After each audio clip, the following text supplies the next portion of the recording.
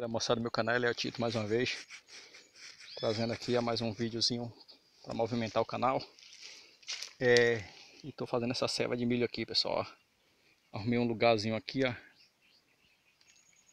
Eu nunca vi animais aqui, eu sei que tem juriti. Agora eu arrumei esse pé de quixaba, que é um pé de quixaba.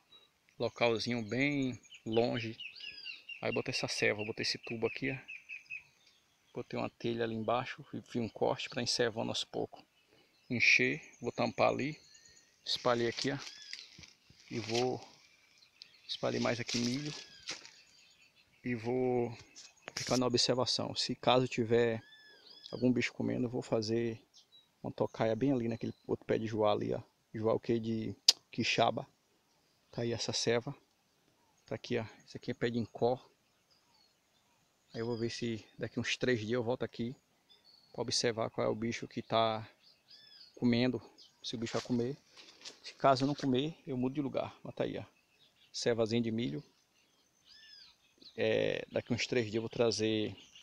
Vou ver se eu arrumo manga. Ver se eu arrumo mandioca, que vocês muitos chamam de macaxeira.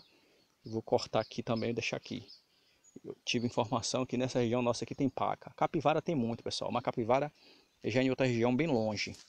Eu não quis botar lá para não ficar muito longe. Mas se aqui não dá nada, deixando ali o tubo cheio, e eu daqui uns três dias, quatro dias, vim perceber que não está baixando e não comeu isso aqui do chão, eu pego e mudo de lugar.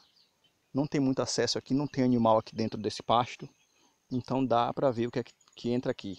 Sei que tem muita codorna, pomba, juriti, tem muita aqui, pré-A tem muita. Mas aí vamos ver. Tá aí pessoal. Deixe seu like, se inscreva no canal. Toque no sininho das notificações.